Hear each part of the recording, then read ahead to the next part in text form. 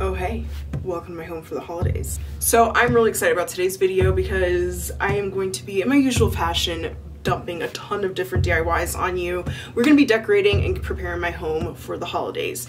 Now this is gonna be the first part in a two-part series. So part one is gonna be focusing predominantly on my dining room, which is the room that I'm in right now, and a little bit in the kitchen. And my next video, we're gonna be setting up the main Christmas tree in my living room regardless, if you are into DIY, if you're into nature and dark cottagecore, Yule aesthetics, all that, this is gonna be the video for you. I hope you enjoy it, so I'm not gonna ramble any longer. Let's jump right into beautifying my home. So anyone who's watched any of my videos before knows that I have this toxic trait where I have the need to DIY and make everything that I can from scratch if, if it's possible. So before I even start decorating, I'm already thinking about things I need to prep beforehand. I wanted to use some doilies, so I crocheted up a doily. I got my prints all sorted out and I didn't really like how they had a gloss look to them, so I added a little bit of matte Mod Podge and I am blocking my doily just so that it is nice and ready to go for when I start to actually decorate my kitchen. I also went out into my lovely forest and found these really awesome branches, some uh, white cedar and pine and all sorts of things that I can find. I'm soaking them for about 24 hours in some water just to, you know, help the longevity of all these items as much as possible. Now while that's all happening, I wanted to do a little bit of sewing for some of the things I wanted in the kitchen. I'm not going to be doing anything drastically different in my kitchen from what I did for my fall and Halloween decorating. I just kind of want to update it for the season. So I'm replacing all the fabric, the curtains, my little curtain that was covering my trash cans. So that's what I am doing now.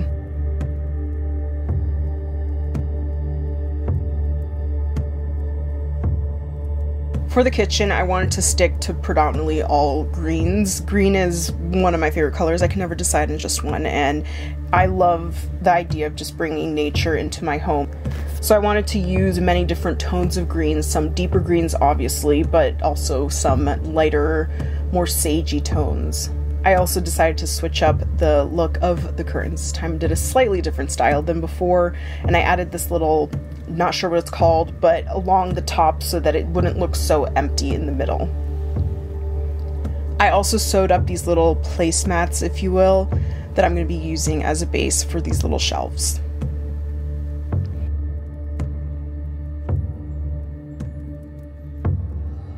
I found this really sweet little recipe box that was vintage from the 70s, along with these really awesome trivets that were hand carved uh, in India. They're all vintage. I have a bit of a hierarchy of how I go about accumulating the things I use for decorating. I start off with things that I already own and have. I DIY things. If I can't make it, if I can't find some sort of weird use for things I already have around the home, then I like to thrift and try to get things secondhand. I also ransacked my apothecary and found all these nice spices that I thought would also make some really cool decorations. So I'm using some anise, and it really made the kitchen smell absolutely amazing.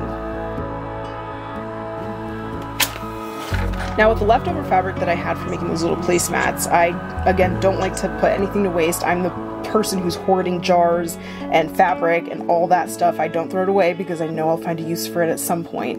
I thought I might as well use the rest of the fabric to make a really cute apron so I can match with my decor because why not? I basically just cut out a rectangle, curved the edges,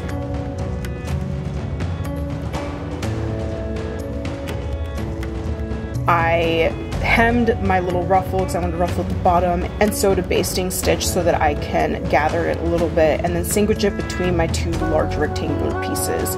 I then created the waistband and then just folded that in on itself and sewed along the top, stitch in the ditch, and it came together pretty quickly and pretty nicely.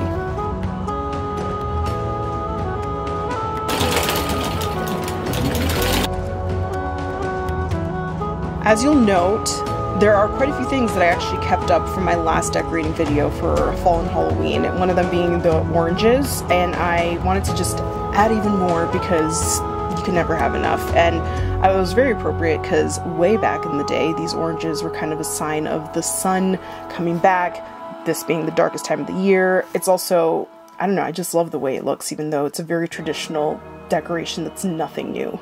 With some of the greenery that I had gotten from the woods, I wanted to just have clumps of it just everywhere on the cabinets, on the windows, and I was just crafting and just having fun. I used some of the dried oranges, I used some of the spices, I ended up poking some of the cloves through the oranges. I used some twine to wrap cinnamon sticks on some of the oranges. I was just doing whatever I felt like. And again, the smells were amazing. I loved how it looked visually.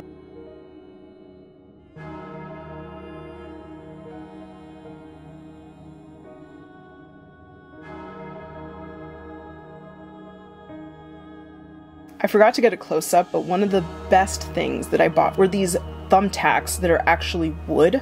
So they blend in so perfectly with my entire house. My entire house is wood. So little tip is find thumbtacks that match whatever color of whatever room that you're using because they're really easy to remove. Now I know that we all know that we can make an awesome simmer pot with the leftover sprigs and orange slices and all those things that we use for decorating around this time of year. Another thing that you can do is make your own multi-purpose spray. Just throw them all in a jar with a little bit of vinegar and let it sit for a couple weeks and it smells good. It works for just a general no fuss cleaner. Now because I have an apron and my kitchen is looking very nice, I I had to do a little bit of baking and so I wanted to leave this little clip in. I made this star bread and I used some cherry jam. And if you too are a fan of baking, particularly if you are interested in vegan baked goods, stick around because later on this month I am going to be doing some fun baking and decorating.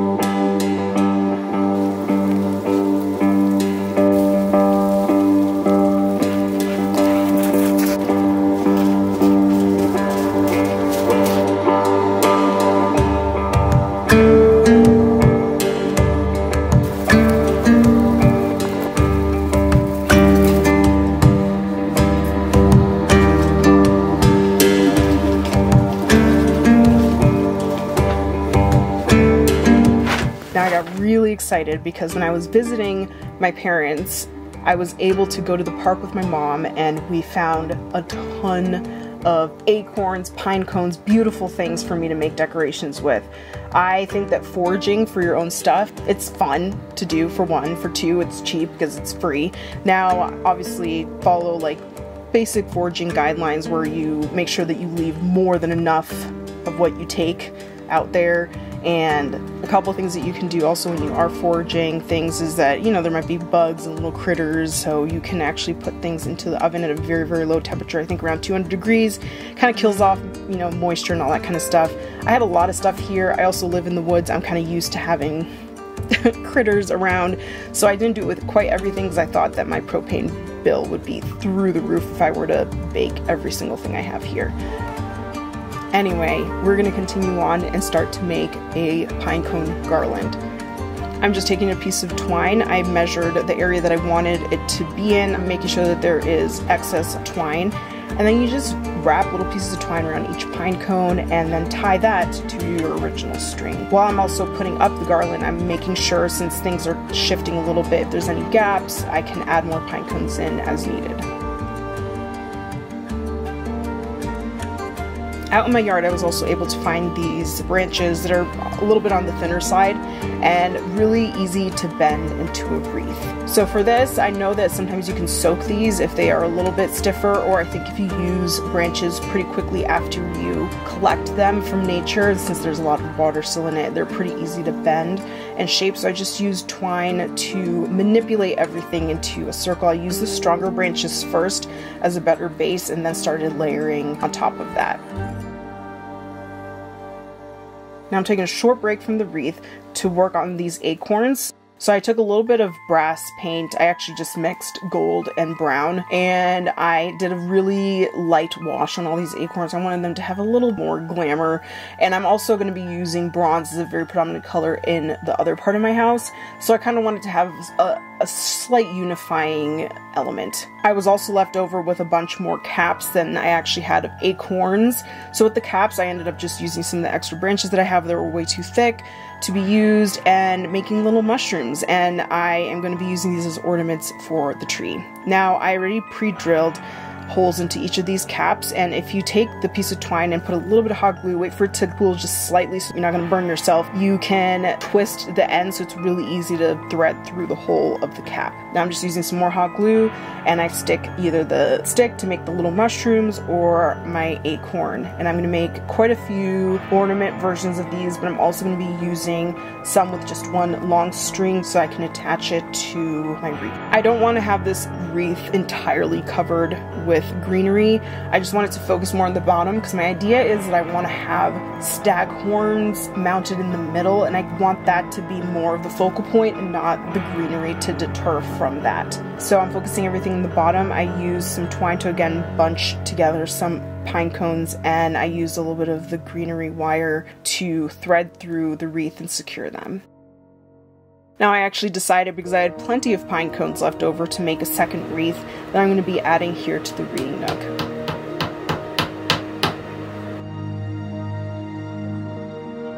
I know that I'm holding the hammer really weird here, but it was an odd angle so I just had to make do.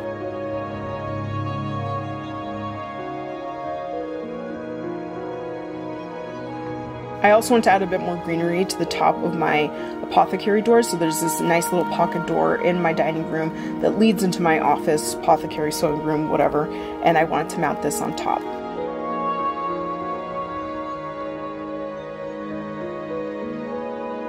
Now I had all these tiny, tiny little acorns. And I was trying to think of what I wanted to do with them. And I thought that making these like acorn balls would be perfect. So I'm actually using tennis balls here. I, I poked holes in with tweezers.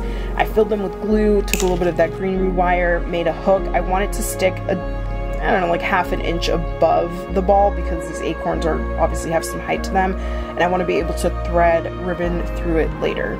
So with my glue gun, I am just attaching all these tiny little acorns with the bottom, the flat side down, if that makes sense.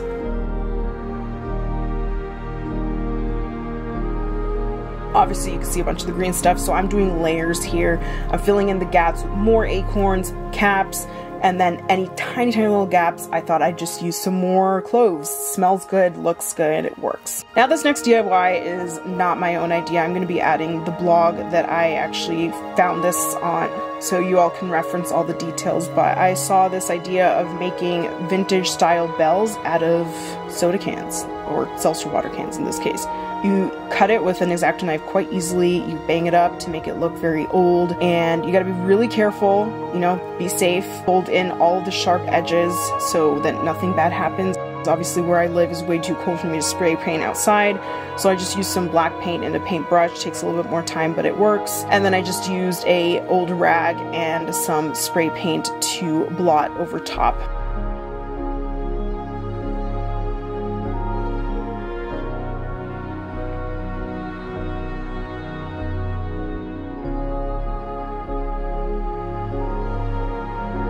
And now I'm to jump into making my stag horns. I'm using a little bit of wire to create a frame first so I have something to attach my clay to. I am using aluminum foil for the bulk because this would have to be in the oven for an eternity if I just made this straight out of clay all the way through and I'm using some polymer clay for this. I the polymer clay I've been using for my other projects was a horrible polymer clay. I don't remember what it was, but it was really hard. So this was a delight to work with. I I don't think this project would have happened if I was using my old clay. So whichever this white one is, this one's a good one. This one's nice and soft and easy to manipulate.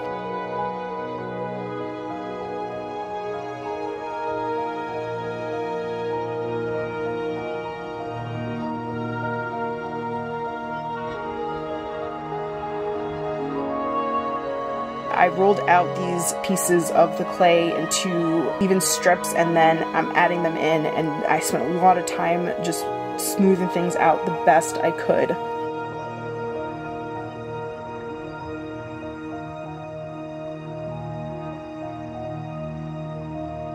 Now, at the base of these horns, there's a little bit of like this lip so I rolled out a little bit of clay and I am slowly just blending that in with the rest of the horns.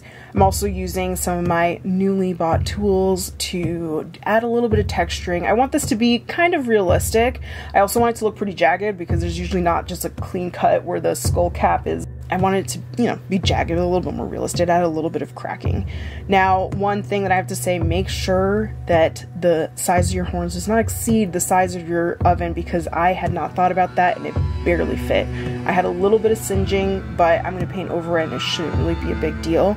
I'm using some of the other bones I already own that are real bones as a reference for the coloring so I can kind of make sure that the actual color is as close to accurate as possible. I wanted this to look as much like an actual bone as possible.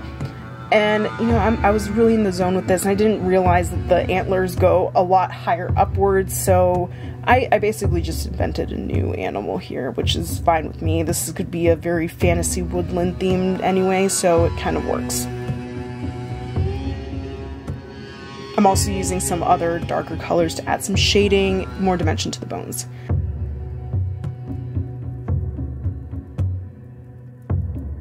Now I had this idea with some of the branches that I had grabbed from the yard that I wanted to do this archway, something that wasn't too intrusive of the space since I, you know, none of the rooms in my house are very big and I didn't want to do anything too crazy and I thought that a nice little archway with a bunch of fairy lights would look really pretty. I am lucky because my whole house is made out of wood. It's pretty easy to just nail things in. So I just nailed in these branches. I went out into the front yard and I chopped down this sweet little tree, which I think is like the perfect look for what I was going for in this room.